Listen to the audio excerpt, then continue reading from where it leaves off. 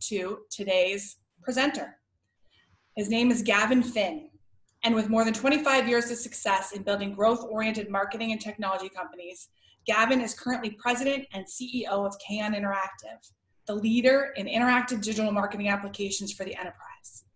Under his leadership, the company has helped B2B organizations such as Cisco, IBM, Ortho Clinical Diagnostics, GE, Thermo Fisher Scientific, Ricoh, Amazon, Dell, Siemens, HPE, and many, many more increase sales productivity and reduce marketing costs. Prior to Kaon, Gavin was president and COO of Bluestreak, a provider of online marketing software. He led the company through three successful acquisitions and a European marketing expansion. He was also the president and CEO of Precedent Technologies, a provider of data quality and automation software. He holds both a PhD and an MS from MIT and teaches entrepreneurial marketing at Tufts University. Last month, Gavin was awarded a Transformative CEO Award for customer experience in the category of digital transformation from the CEO Forum Group. His brilliant industry and vertical knowledge spans many arenas, providing an excellent foundation for today's webinar. At this time, I'd like to turn things over to Gavin to begin today's event. Gavin, welcome. Thank you, Dana, and thank you everybody for joining us today. We're talking about something very timely. We've obviously been through a great deal of change in the last few months, and many people are wondering how to transition from face-to-face meetings, be they customer briefings or trade shows or conferences or company events, to the digital world. And so lots of input from different sources have created quite a bit of discussion. And our goal today is to help guide some of that discussion to lead to your success in transitioning into bringing benefits of face-to-face meetings to the virtual digital environment. Before we get started, we have a poll that we'd like to ask you, which really relates to your intentions for this year. And let's get started with a question about whether you're going to be attending or hosting any in-person live events in 2020. And as we go through the course of this discussion, we'll be asking some questions, you'll be providing answers. We're actually going to share some experiences together, virtual experiences in the digital world. And so this will hopefully create a sense of both awareness and interest, as well as your um, participation to really guide some of these discussions. So please answer these questions um, so that we can get a sense and we can base our focus as we move forward on how we plan on going through transitioning and managing through this time that we're in. As soon as the results are in, we will have a quick sharing of the poll uh, to talk a little bit about the uh, total sort of distribution for our um, participants today. And as soon as we get through them, I think we're very close, we'll see that um, there's still a lot of optimism around, um, go back to the previous poll. Actually, why don't we do this one then at the same time? And, uh, we can share the results. You can see that um, a lot of people are planning on attending or hosting live events sometime this year. And about 25% of the people on this poll, the hundreds of people who are participating today, are not planning on doing anything with respect to live events for the remainder of this year at least. Uh, so that actually tells us quite a bit about the, um, the distribution of sort of our sentiment. Now we're here because things have changed, and we've talked a little bit about the vector of that change and see how that's going to work. Um, and then what we will do is as we go through, we'll talk a little bit about some of our options. But let's start by understanding why it is that we crave face-to-face events and what makes those face-to-face events so valuable. It turns out that people who attend face-to-face events actually do so for primary reasons relating to interacting with other people. And even though we don't have uh, necessarily an overt rationale behind this. We know as human beings, based on our cognitive behavior, our limbic brains tell us that there are some cues that go along with whether to trust people or how to interact and how to read and interpret what they're saying. And many of those cues have nothing to do with what they're saying, but it has to do with their body language, their smiling, whether they laugh or nod, or how they gesture. These kinds of cues actually influence in a subliminal way how we perceive the people and what they're saying. And it turns out that the result of all of those cues is that when we have face to face encounters, it's much more likely that we are likely to agree with or be persuaded by people that we're actually encountering in those environments. And this is useful to us because it does help us understand what the rationale is for both sponsoring and attending these events, and to try to think about how we might actually do some of these same sorts of um, messaging in a virtual or digital environment. Now, everybody has been thinking about sort of why we do face to face meetings. And the reality is that the vast majority of people create and attend events so that they can interact with other people, with other companies. In fact, the CEIR did a study, series of studies, and what they determined was that for people attending face-to-face events, be they trade shows, conferences, or meetings, what they found was that there are three primary reasons that motivate people that drive them to these events. The first one is education. They want to learn about the industry, they want to learn about different companies, and they want to learn about their own particular discipline. And so what happens is they go to these events with a thirst for knowledge, a thirst for education, and they derive that education in a variety of different ways, not the least of which are breakout sessions and workshops and even keynote addresses where they can learn some information. But in addition to that, all of the other kinds of interactions provide education for them to help them both as professionals and individuals, but also in their decision making in their roles.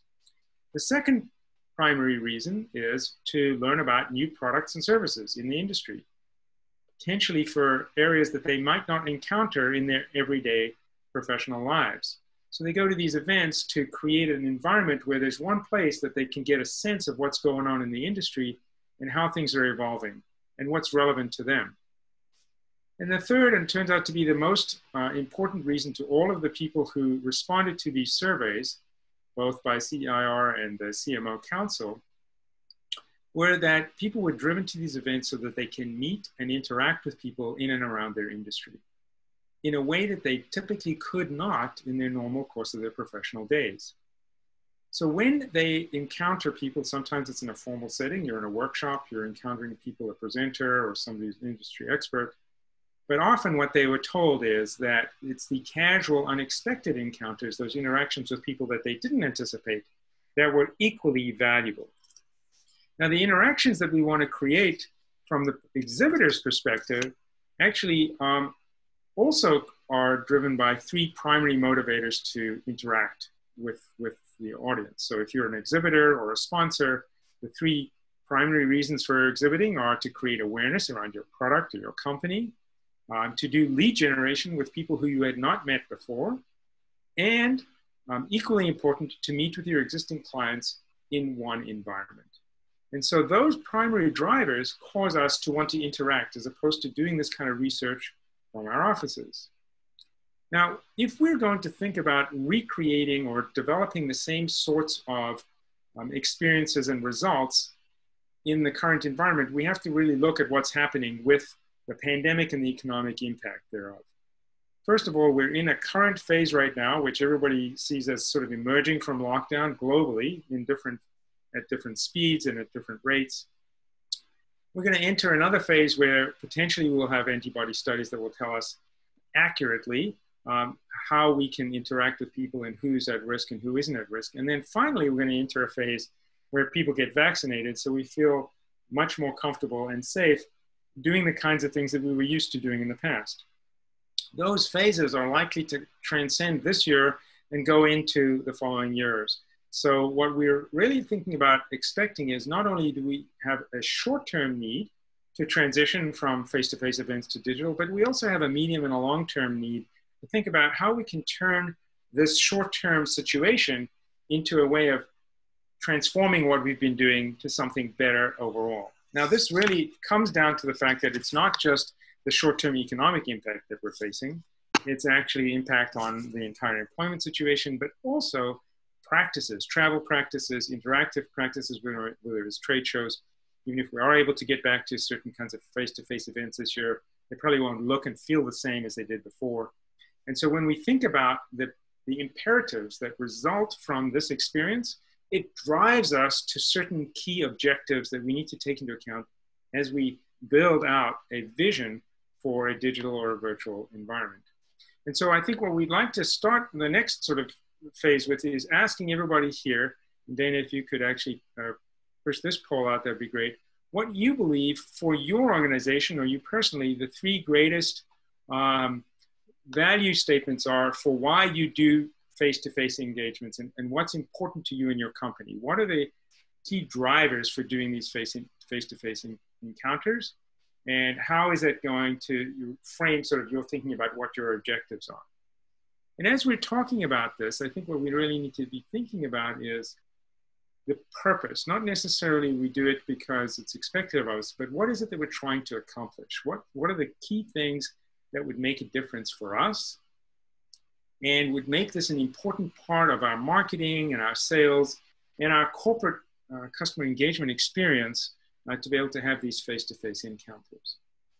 Um, and I won't prejudice any responses by talking about industry studies, but what we'll find is that there's going to be uh, two or three sort of leading factors that will allow us to sort of focus in on some of the, the driving forces for what we need in a, a, a, next state or a future state.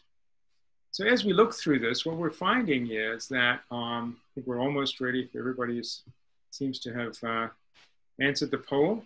I think we're close to the end. Yep. So what we see is that the most important factor in creating face-to-face -face events is to drive stronger and more meaningful business relationships.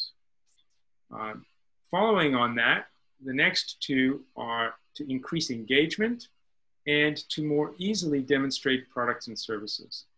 So if you think about those three, drive deeper and uh, more meaningful business relationships, increase engagement, and be able to demonstrate the solutions that we bring to the table. Those are what drives I need to have these events. So this is important because as we go through this, what we're actually seeing now is what the purpose is of whatever events we create, digital, uh, face-to-face, hybrid in the future, they need to meet those key business objectives. Interestingly enough, just in the pre-COVID world, um, the CIR and CMO Council did a bunch of research relating to the effectiveness of will face-to-face meetings, trade shows, and exhibits. And they asked the exhibitors, with respect to your key objectives, how effective is your uh, face-to-face trade show exhibit and meeting program? And it turns out that only 6% of companies that sponsored or exhibited at events said that they had met their business objectives. Keep in mind what your statements were just a few minutes ago with respect to more meaningful business relationships, increasing engagement, and being able to demonstrate our solutions and products, very much in line with what the key objectives are for most companies who exhibit and go to trade shows. Uh, exhibitors are not particularly satisfied that those key objectives are being met. Similarly, in the same uh, time period, CIR and CMO Council did research on attendees and asked them, did these trade shows, events, meetings, product launches meet your needs? And it turns out only 34% of the attendees said that they did. Now, what this really means for us is that there's room for improvement. It's not a detractor on one particular form or another, but it's basically saying that with respect to these objectives, and this is where marketing can actually create a much more aligned strategic impact with senior executives, is how to align the actual marketing activities, trade shows, events, product launches, briefing centers, as part of the sales infrastructure to drive the results that we need to increase and deepen our business relationships, to um, drive more engagement and interaction, and to better be able to demonstrate and articulate the value of our products and solutions. And the attendees are pretty much going for the same things. And so even offline, these particular objectives are not really being met to the extent that they can. So what this is telling us, we don't want to go on this journey and have the past be our destination. We want to go on this journey and improve. We want to create a better future so that our objectives are actually met, be they as a combination of hybrid or offline or digital events. And what's really driving this is that most individuals who attend these events are looking for interaction. They're looking for engagement. And this is an important point for us because as we move to digital or virtual events, what that tells us, be aware that that's a primary motivator and we need to deliver on that even as we start down this journey. It can't be a second step or a third step because we're going to end up failing if we don't create this kind of engagement and interactivity. Now, what does it mean to create interactivity and engagement? There's actually three dimensions on which you have to connect in order to create a truly engaging and interactive experience. One of them is a multi-sensory experience where you create audio, visual, and um, touch-based or manipulation-based sensory experiences. And so if you think about you're actually driving the experience, you were doing a poll, you were listening, you were watching, um, those are multi-sensory experiences. The second part is an intellectual knowledge transfer. We can't just do this in a vacuum and have a great pinball experience, but there's no knowledge transfer. We're not getting educated. Remember that the pe people who are attending these events are driven by education. They want to learn. They want to learn about the industry. They want to learn about their discipline. They want to learn about the companies and products. So in this process, we have to be effective at conveying salient issues, differentiated value, key uh, resonance with the attendees, each persona. And then the last and very important component in the B2B world, most people tend to forget we have to be able to connect on an emotional level. So when we create these multisensory experiences and we create an intellectual knowledge transfer, there also has to be an emotive content capability to this where we actually drive emotional connections. And putting those three things together, that's what a successful engagement interaction looks like. That's customer engagement. So what I'd like to ask at this point is, given what we have talked a little about so far, when you do virtual meetings or briefings or events, what are the things that are lacking that you'd like to see actually extend what you've already done or seen as an attendee or as a host. And we've seen lots of companies transition from physical events to digital events. And in many of these, what we see is that there's a lackluster response on the part of the attendees. So you could be one of the attendees as well. And what has been missing with respect to the key objectives in the virtual events that you've hosted or the digital events that you've attended? What's been missing? Uh, we, we had an example for, uh, just to talk through this while you're, you're going through this. Um, there's a very large corporation that had their major customer event, which usually has 30,000 attendees in Las Vegas. That was canceled this year. And they decided to move that all online. So they created a digital event. So one of the great benefits of that is the digital event could be available to people everywhere. They didn't have to travel to Las Vegas.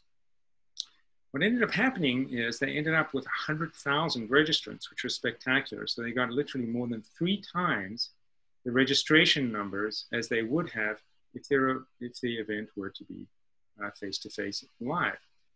What ended up happening, however, is they ended up creating the event in such a way that the experiences that the attendees had um, didn't meet their expectations. And in fact, the satisfaction surveys at the end of this uh, digital trade show survey were at the digital event were much lower satisfaction rates than they were for any other uh, of the previous year's face-to-face events. So even though they got more registrants and actually more attendees, um, they didn't end up satisfying the needs. So here what we can see uh, at the end of this poll is that the things that are lacking, the number one and number two things that are lacking are building stronger and more meaningful business relationships, having greater social interactions, and uh, increased engagement. Now think about that. That's very, very similar. And with respect to products and services, it's almost the same uh, number, 35%. Now, just take a moment and think about that. The things we really need to achieve, the things that are driving our events, creating a better and deeper engagement, meaningful business relationships, having more engagement in social interactions, and being able to actually convey value propositions for our products and solutions, those are the very things that you've just said are lacking in the virtual environment.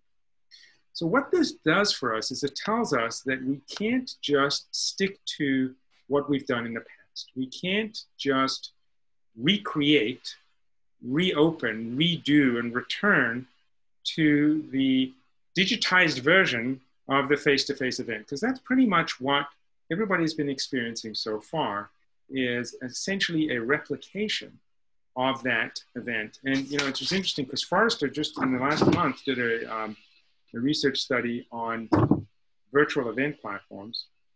And one of the key findings that they had, that they recommended was that they said companies must use online to deliver experiences in ways that don't look and feel like a digital only version of a physical gathering. And really, when you think about it, that's the reason that all of those elements that you felt were missing were missing is because it's really becoming a digitized version of that face-to-face event. So what we really need to think is all through these different phases, what is the capability for us to interact and what do we need? What kind of transformation do we need? So obviously in lockdown or just coming out of lockdown, there's going to be some limited engagements and there's going to be something in the future. We're not sure what it is. Regardless of how that trans, uh, transpires, we need to create something. We need to create a platform that solves the problem we just talked about, which is creating more meaningful business relationships. So what we have to do is really have to do a digital transformation exercise. We have to go from transactional to a collaborative process. We have to stop thinking about events and marketing um, engagements like this as costs, as expenses, and we have to start tying them directly to the business results we're trying to achieve, which have to do with the things you just said, which is creating more meaningful business relationships, being able to differentiate our products and solutions better and create these interactions on a more uh, repeatable basis. So that means we're going from a cost-based thought process, what's it going to cost us to do this event, to what's the value? a value-focused structure on how we can create digital events and virtual events. And that really means that we have to transform from discrete products and optimizing particular events for a particular product launch or a particular a dimension of our portfolio or a particular geography or a theme. We have to create a networked environment where we're really optimizing our portfolio rather than a particular segment of that portfolio. And that way we can actually reuse and repurpose all of these events the digital versions of these events in a way that the engagement transcends that one particular moment in time. And that's going to create for us a much more effective way to think about how we're actually pivoting from where we are to where we need to be. So let's start by just looking at what happens when you just think about a virtual event platform. What do you get? And this is where a lot of companies are starting. And we're going to go very quickly from looking at this to the kinds of things that we could actually accomplish. So when you get a virtual uh, event platform, the kinds of things that come with that mirror and are very similar to the kinds of things you might get with a virtual, with a real trade show or a real event. You get a website, you get marketing associated with that, you get registration, there's an agenda, a complex agenda, potentially multiple uh, working sessions at the same time. You get some capability to do live presentations, a live video feed. You might have live uh, audio and video. Questions and answers, very similar to what we're talking about here polling. Some of them have note taking and attending uh, attendees being able to take notes and select slides and, and presentations if they're favorites, be able to record and share content later and create these kinds of feedback. So that really, if you think about it, that's sort of the uh, digital twin of a physical event, and it, it creates that uh, equivalence in that environment. Now, one of the problems with doing that is that when you're actually at an event, let's say those people went to Las Vegas and they went to that, that show, they're actually physically at the show, they're physically at the event. That's what they're focusing on. They're there, um, that's where their attention is. And it turns out that when we take that event and we put it into one of these kinds of platforms and deliver the same sort of content and the same kind of experience and give people the same sort of agenda, you know this because you're doing this now almost every day where you're looking at digital content and you're interacting in this kind of a feed environment and you have distractions. And so what this percentage represents, and this is a survey and an analysis and a series of studies that were done by uh, LogMeIn and GoToMeeting, where they actually analyzed how much of the time that an event is going on where somebody's attending that they're actually paying attention. So this is the attention rate. How much of your 100% of your attention are you paying even though you're attending? It's 23%. So think about that. you only have 23% of people's attention. And if you're not creating that interaction and that engagement during that 23%, your effectiveness is almost zero. So it's not surprising that all of those digital attendees, the attendees who attended the digital conference that we just talked about, um, were very unhappy with the effectiveness of that event because it just did not convey the kinds of things that they went to the event or would have gone to the face-to-face event uh, to, to learn. And this, the message here is very clear. Virtual conferencing tools, these kinds of connection tools by themselves are not enough. They're not even enough as a starting point. It's not actually valuable to just say, well, let's get started with that. Let's just do an event or two or this year on these platforms, and then we'll elevate next year or we'll elevate the next few because these first few that you do are going to fail. They're going to fail because they don't create that kind of engagement and they don't solve the problems that you just said were critical to you and were missing from these face to face events. So, what we really need to do is we need to couple these with the kinds of solutions that provide engagement, the kinds of engagement where people are interacting, where there's a clear persona based personalization of the path that you go through, the information is relevant, and it's not presented to the audience, but it's interactive, it's interactive so that they're absorbing it and they're making buying decisions based on the information that they're uncovering, that they're revealing to themselves, rather than sitting in a presentation which doesn't actually deliver. And these kinds of experiences, these kinds of interactive elevations, are actually um, fairly uh, broad in the kinds of interactions that you can have. It could be interactive product and solution demonstrations. Remember, one of the key items in all of our polls that we just had was that we needed to be able to demonstrate the differentiated value of our products and solutions. We have the ability to actually interact with and demonstrate and learn about products.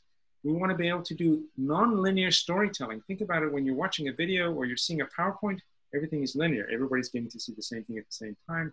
Maybe you want to put in our data. We want to say, well, this is my situation. This is how many square feet I have in my factory. These are the, the instruments I have in my lab, and this is the throughput I need.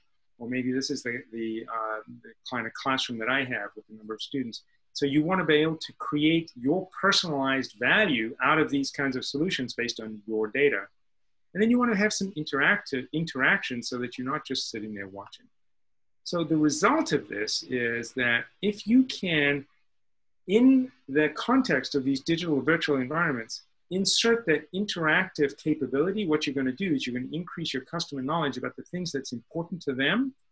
The old Chinese saying, which said, um, Tell me and I will forget, show me and I will remember, involve me and I will understand. We want to get them involved, we want them to understand, and they're going to get to make better buying decisions.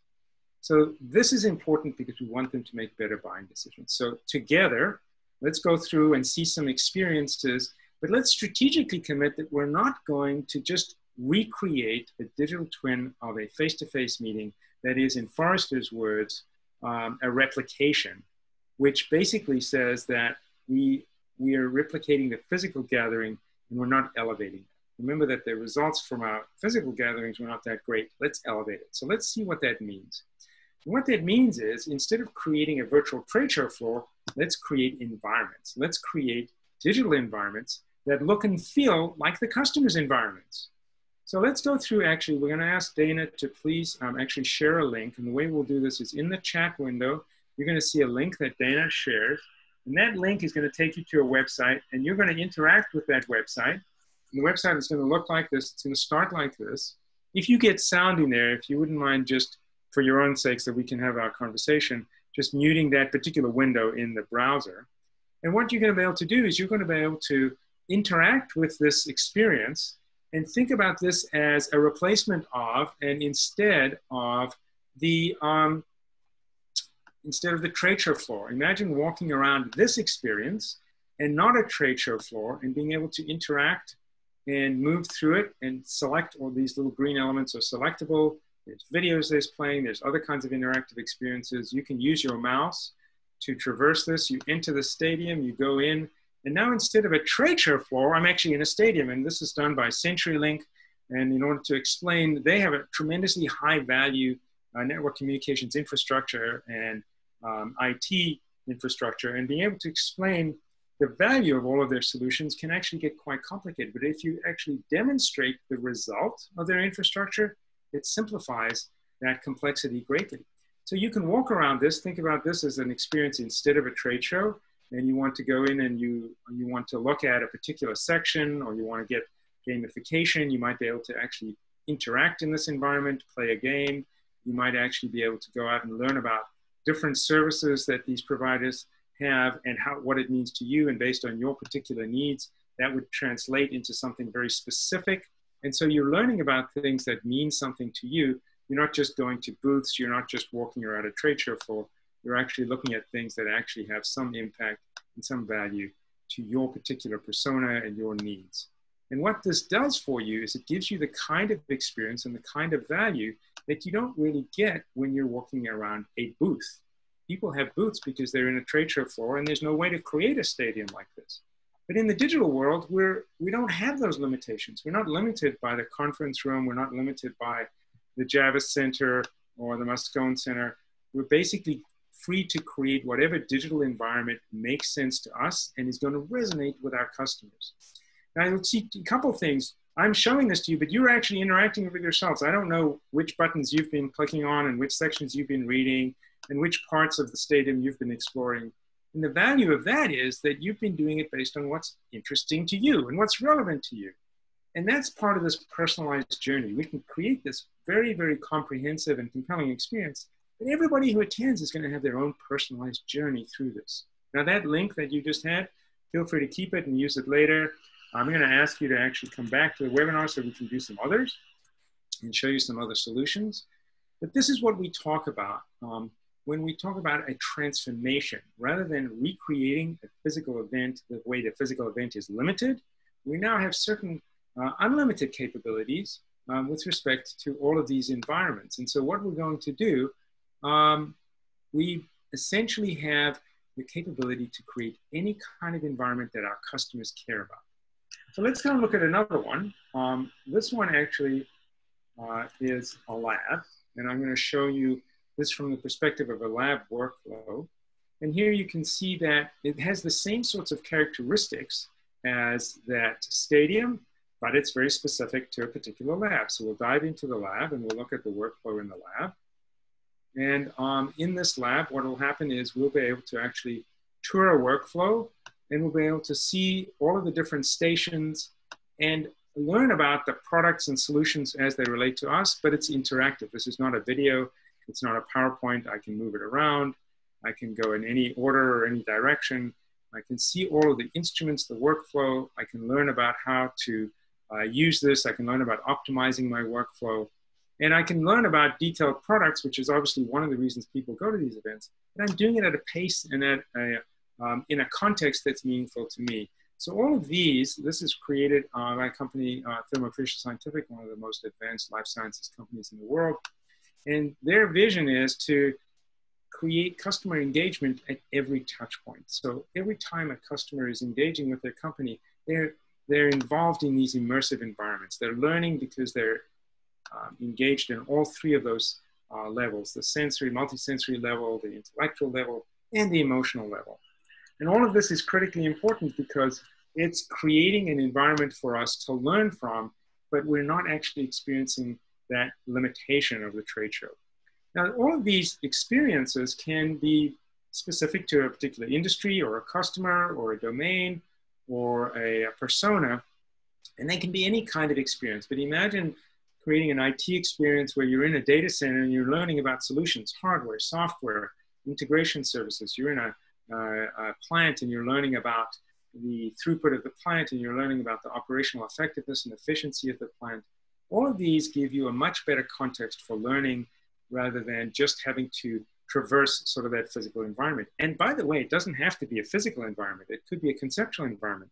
Here we see an application uh, that uh, Micron has, which is a really a, a, way to experience a customer journey for, for very small products DRAM chips and memory chips, but in the context of all of the value and the benefits that they provide. And so you're able to actually weave your way through these stories based on what industry you're in and what uh, persona you have, what role you play, and what you're in, what level of detail you're interested in, so that you can have this kind of experience, even if it's not a, a physical real world experience. And it can traverse anything from office spaces to anything else. We can even go in, uh, let's do another quick one, Dana. I think we have time to do one more um, for the, um, the offshore oil platform.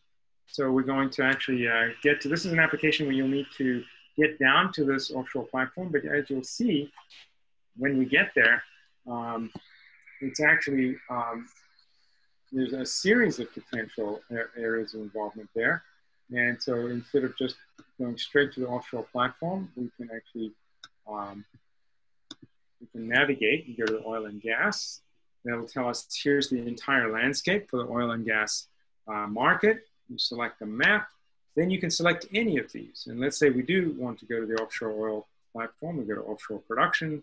You see all of the information that Baker Hughes, which is a leading oil and gas services and products company, um, their message is um, highly differentiated, but complex to elucidate and articulate that differentiated message. And so if we select any one of these value stories here, these are all values that they deliver, increased safety, improved process efficiency, uh, reduction in CapEx and OpEx.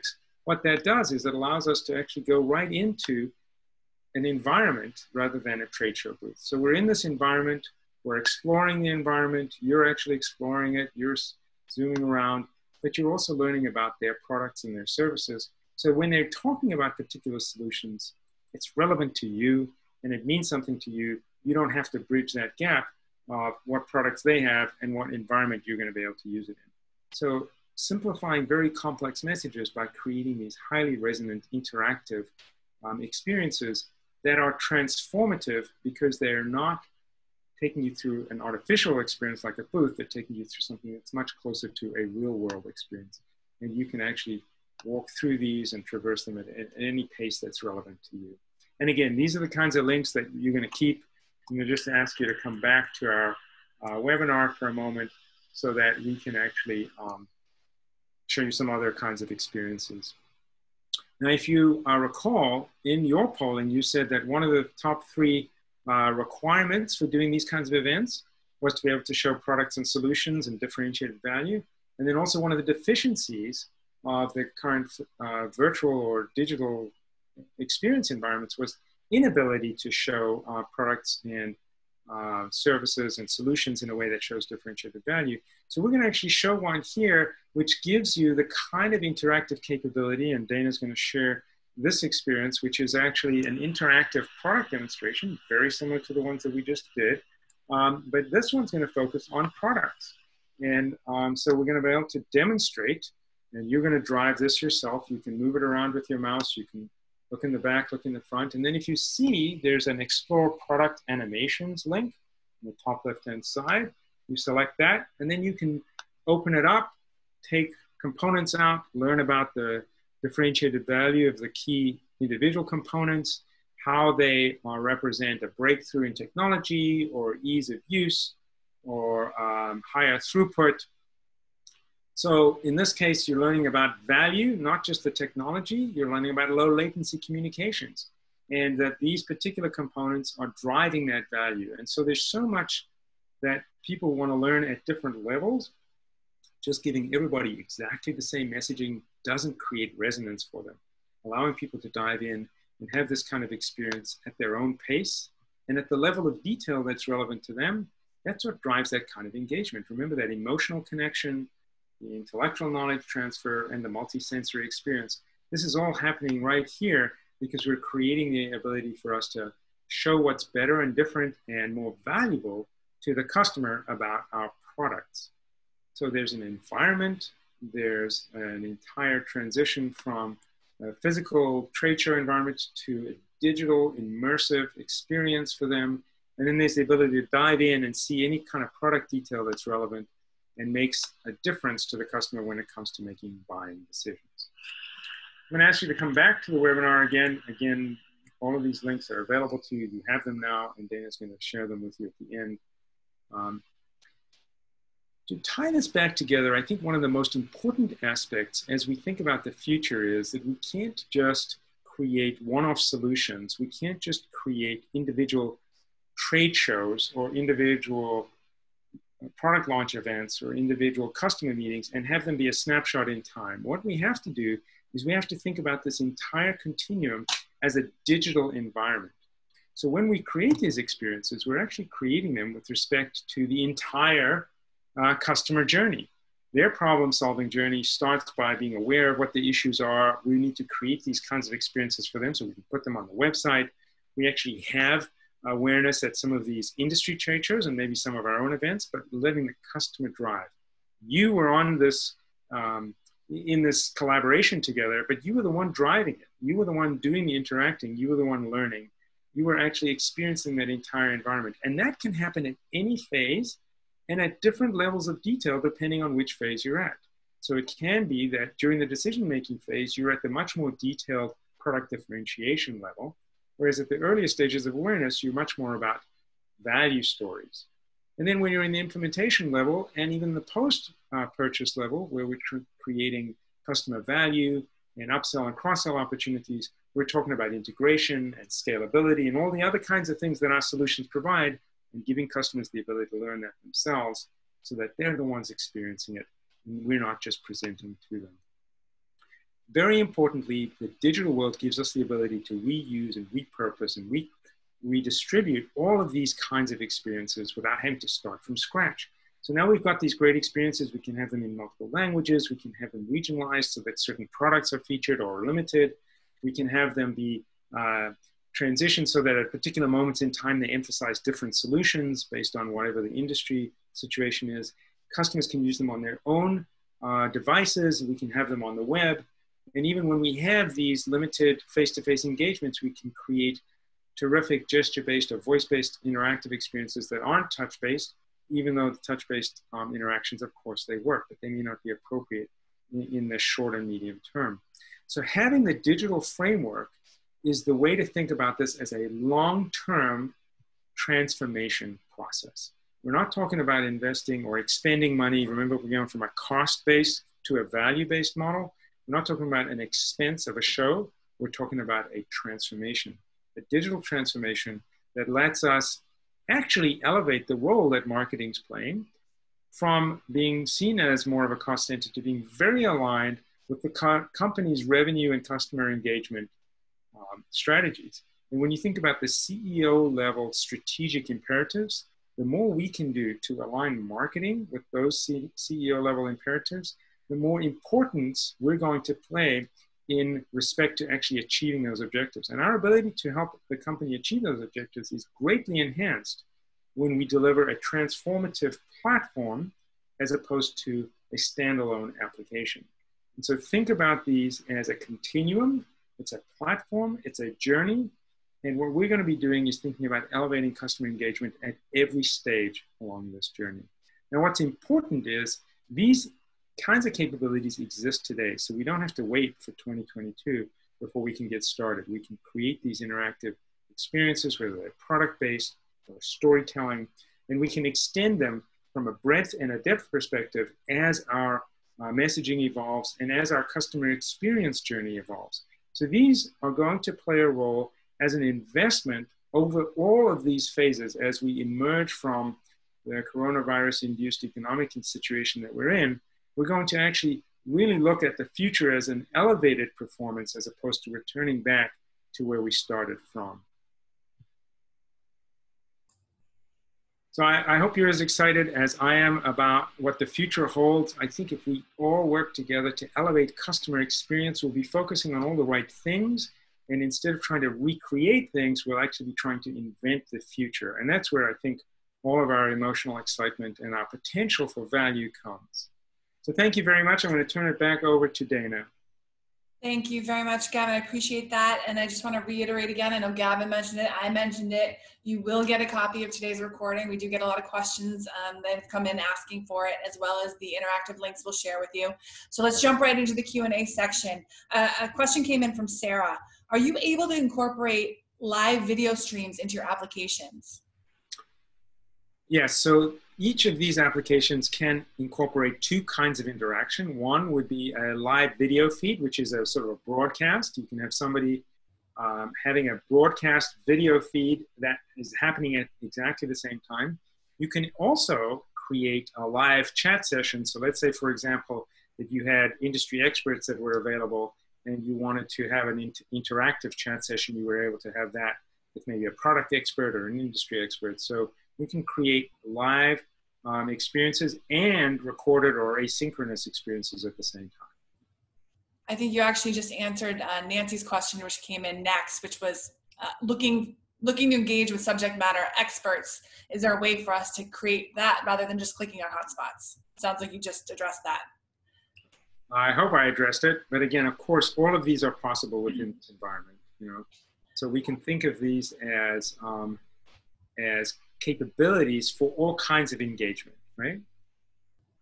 Question came in from Chris. Do most clients see this solution as a live event, or is it something that is pushed out as a synchronized experience or synchronous experience? Yeah, so it can be live or asynchronous or both. And so let's think about, for example, if you wanted to create a live experience, what you might actually do is create a gamification process where we brought people together, everybody was interacting, doing similar things to what you were just doing, let's say traversing a, uh, an offshore oil platform, but you were actually answering questions or opening certain capabilities or doing product uh, capabilities or features. And then that happened live. You might have a leaderboard where we, you actually see how people are doing with respect to each other. But then the, the same capability is available either as a, a, registered event, which people can go to any time. So one of the key values here is that you can have this live event, but then you can also have it be available anytime, either afterwards or during or at any point. And then the other thing is you can make these experiences available on the customer's website, on your website, so that you can have your customers experience these at any time that's convenient to them. So thinking about these as digital modules to be able to be delivered in any of those environments. Now, a lot of companies are thinking about, well, we've just lost our ability to have live events. Let's create a live digital experience. And so this is a great way to make that experience come to, to fruition. But you can also then reuse it later. So it's not an either or. You just answered Chris's question as well. So we'll jump over to MK. Um, can your platform incorporate voice activation features? Yes, so anything that you can activate with a mouse or with a touchscreen or anything else can be voice activated features as well. And we have that capability. Um, and in fact, that's part of our transition plan for phase two when we have these limited engagements rather than asking people to come in and touch screens, which they may not be comfortable with and we probably would not advise. Um, all of the actions that we've had here that you've seen, whether it's mouse-based or touchscreen-based, like on an iPad or a large touchscreen at a trade show or a briefing center, can be voice-activated as well. A question from Joanna. How are your current clients using these link slash digital experiences? Are they sending out email blasts or driving people to their website? Actually, there's a variety of ways. Let me give you a couple of live examples or real world examples. So one, um, one of our clients has a, about a thousand salespeople globally, and what they've tried to do is to start by having sales interactions that came after these marketing events where the customer is on the other end of a Zoom call or a WebEx call or a GoToMeeting call like this. And the salesperson actually sends the customer that link while they're in the session, and the customer shares their screen. So the customer is doing what you were doing, driving it, but the salesperson can actually see it. So from a sales perspective, they're having the customer do the engagement, but it's a guided session, the salesperson's involved. There are other use cases, in fact, in that same company, where they have been sending out the link to a certain portion of the experience, not the whole thing, but one portion as a teaser in the email. So the email is used as a demand generator to actually create more of a face-to-face with the salespeople. So they send that link out, the customer interacts, it happens online, and then they either get right there to sign up for a, a sales session or they can make a call or they can register uh, using the company's uh, website registration process. And then the third uh, way that they're using it, this is just one company, is that they're actually sending these out um, to drive people to a, um, a branded section of the website so that there is a specific message on the website around the, the particular experience that they're delivering. And they actually do this every quarter they have a different um, experience that they're focused on. So every time they send an email blast out, they're driving people to a particular location on their website. These experiences are embedded in the website using iframes. And so the customer is able to experience it and it's driven for a particular, as part of a particular marketing campaign as well question came in from Sura. I hope I pronounced that correctly. How does your platform compare to virtual event platforms like vFair, INXPO, etc.? Thanks. We actually collaborate with all of those platforms because they're the ones who provide that list of things that we talked about with respect to a website for the event, an agenda, and live chat and all those kinds of capabilities. And our our systems integrate with theirs. So if you have one of those, you don't have to, but if you do, then our system can actually be the uh, virtual experience, like the uh, we just saw the the lab or the uh, stadium or the offshore rig or whatever it is, and then each of the sponsors has their own section within that, or that experience can be uh, a link within their their trade show environment. So if they have a set, set of booths, the company, let's say Baker Hughes in the case of the off, offshore platform, says we don't want to have a booth, we want to have an offshore platform. So rather than using that, let's call it standard off-the-shelf booth, we, we actually put an iframe in and the customers are experiencing it that way. We also can integrate with their analytics. So if they have driven people to your virtual event and they're counting how many people came and how long they spent and all of that, any of the analytics in our experience can be um, exported using an API for them to actually extract it and integrate it into their experience as well. Thank you. It looks like um, it might be our last question here from Mika. Can it be accessed on a mobile or tablet? Yes, in fact, everything we've just seen is an experience that can be used um, online, can be used on a desktop, can be used on mobile, and can be used um, either on an iPhone or a um, a uh, Samsung phone or Android phone or anything like that, or it can be used um, on a, uh, a tablet, whether it's a an iPad or a um, uh, an Android tablet or anything like that. So any any tablet that's got exactly the same, uh, we have exactly the same capability. And the, when we talked about reusability of the applications, um, the same application is used um, on um, all of those platforms without having to write a specific mobile version or a specific web version or a specific desktop version. That digital um, uh, series of applications run everywhere um, just natively. Oh, and it looks like one last question came in from Peter. Um, can you integrate gamification into your apps and virtual platforms? What we've done is we've integrated gamification as the experiences. So we've actually created a variety of gamification applications, including, um, I'll give you one as an example. we had a, um, an experience that we created to help demonstrate how a software that's used to configure servers in the data center or in the cloud um, is easy to use. So we created a gamification environment where multiple people at the same time came in and they all were exposed to the software user interface. And the um, purpose was to show how easy that software is to use. And so as soon as the clock started, everybody started configuring servers. And at the end of the one minute or the five minutes, um, whoever configured the most servers won the game. And you could see the leaderboard, and it was actually global. It could be anywhere in the world. And so that's one way to make a live event really successful. So we can turn any of these experiences into gamification experiences, and they can have leaderboards, and they can be global, and then you can integrate those data with the rest of your systems as well. And we got one more question from Brad. Does the platform support VR, either through Google Cardboard type mobile platforms or standalone platforms such as Oculus Go? The application that you saw, for example, the CenturyLink application, um, is actually was originally developed as an immersive application, and it runs as a completely VR, fully 3D immersive application on a, a Oculus Quest, or uh, any of the other devices. And the same application runs on the web and it also runs on native uh, apps on your iPad or on your Mac or your Windows device. So these applications can be designed for VR, but the beautiful part about the platform is that when you create a VR application, it can also work in a non-VR environment without having to recreate a separate application. Now, some of those VR experiences are incredibly powerful. We have a, a space configuration application, for example, that allows you to configure labs and data centers and other kinds of things.